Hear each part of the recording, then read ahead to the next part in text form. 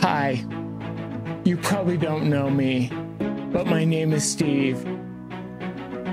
I was diagnosed in 2004 with multiple sclerosis. I struggled so much with it, but in the past few years, I've learned how to fight it and overcome it, even.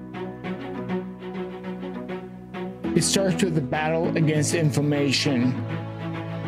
I want to share with you the first steps you can take to battle it as well.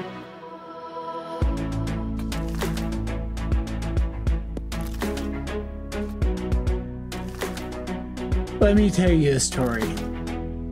When I was growing up, my family always took a yearly trip to visit my grandparents. It seemed my sister would always lay out in the sun too long and get a terrible sunburn. What my sister painfully found out every year was too much UV light hurts. But for multiple sclerosis, UV light has huge benefits when done right. UV light controls brain inflammation, and brain inflammation is the cause of all of our MS symptoms. Subscribe and leave a comment asking me any questions you might have or just telling me your story. I love reading them and writing you back. UV light consists of a big range of different light wavelengths.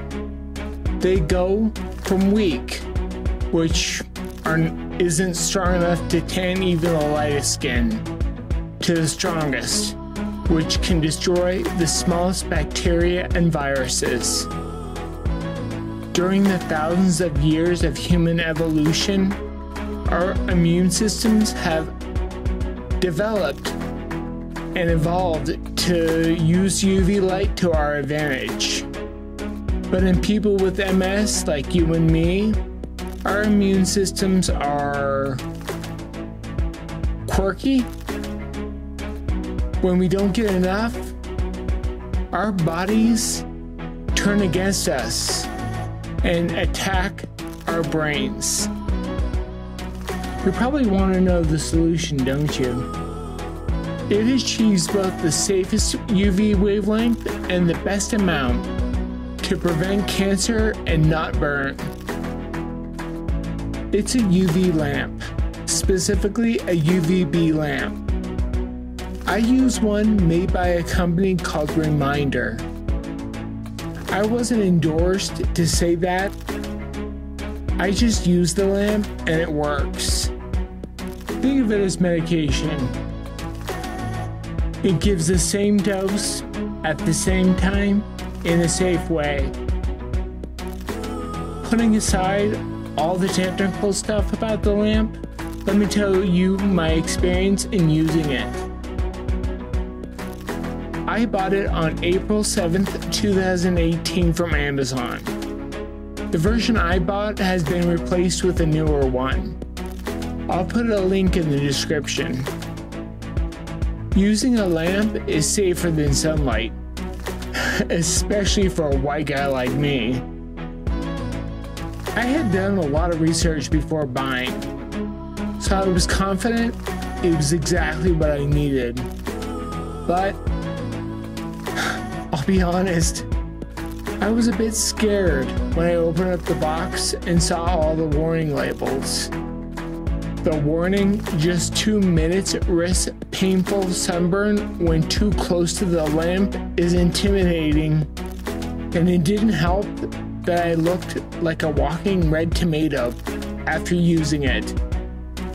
But I noticed something. I never felt burned. And not feeling burned gave me the confidence to continue using it. I quickly found my personal exposure time and schedule, and that helped me not look like a walking red tomato.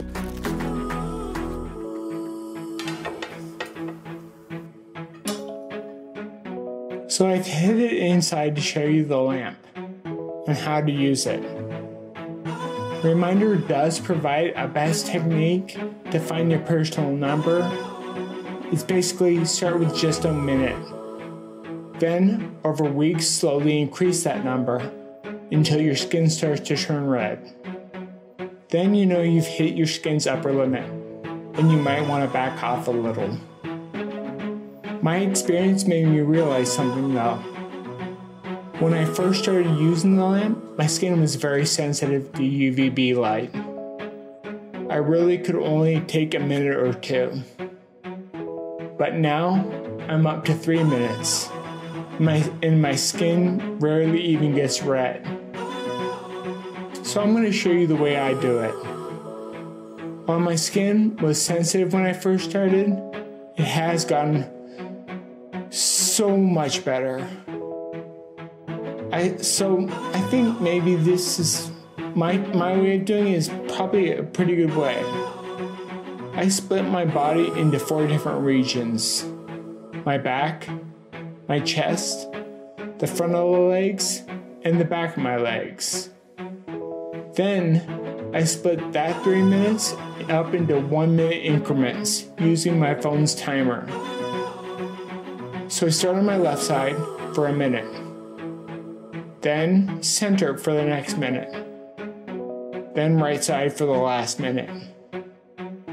I expose each body part separated by 48 hours between each time I use the light. That was a little confusing, so let me even. For example, I start with my back wait 48 hours. Then I do my front, wait 48 hours. Then front of my legs, wait another 48 hours. Then finally the back of my legs and wait another 48 hours. That gives a total space of 8 days between each time I expose the same body part. I'm not a scientist nor do I have any proof that this is a good way of doing it. But my skin is telling me that it's right. I know for a fact that skin cancer rates go up the farther you get from the equator, which doesn't make sense at all. Shouldn't they go down? But I think a major part of skin cancer is skin burning.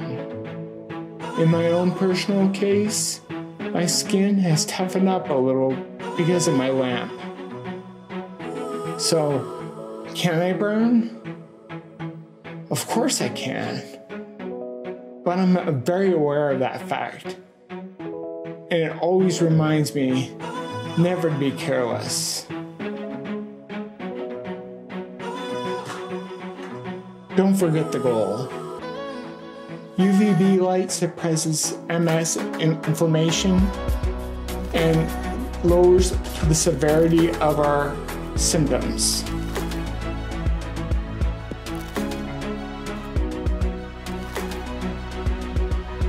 Doctors never promise MS drugs will make MS improve. It's the fine print that most of us don't even think about. The drugs only slow MS progression. I stopped thinking that was enough. I wanted more. The day before I bought the lamp, my immune cells were geared to causing inflammation and driving my MS. I'm going to explain my progression of using the lamp like it was a week on the calendar. Let's start on Sunday. I wanted to know how long immune cells live for. Just an estimate to gauge when I might start feeling things. What I found was around six months. So I told myself to just remain consistent. But how it played out was a little different.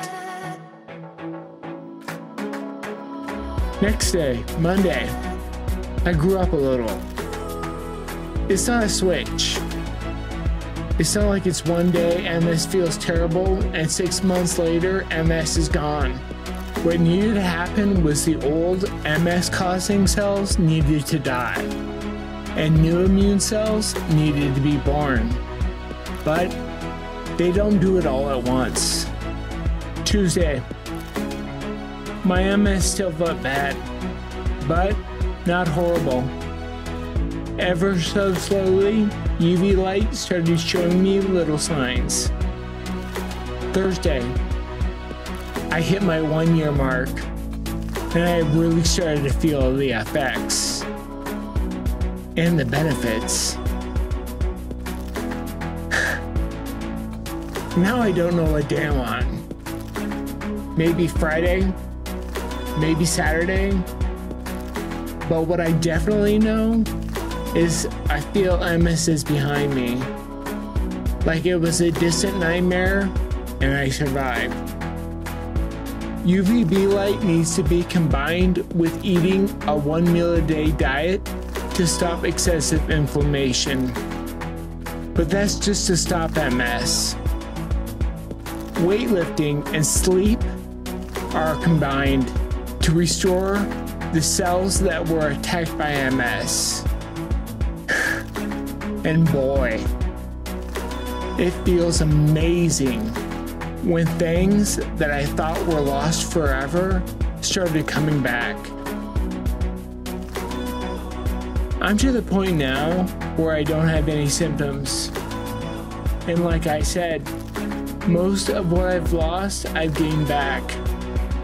I still need the smoothness in my gait come back, but it's getting there. What is far better though? I have this amazing feeling every morning when I wake up. I guarantee you, you will too. Thanks for watching. More than anything, I want to help you. Comment below and tell me if you subscribed and have bought the lamp yet. I've made many different videos about it. Watch this playlist teaching you how to use it.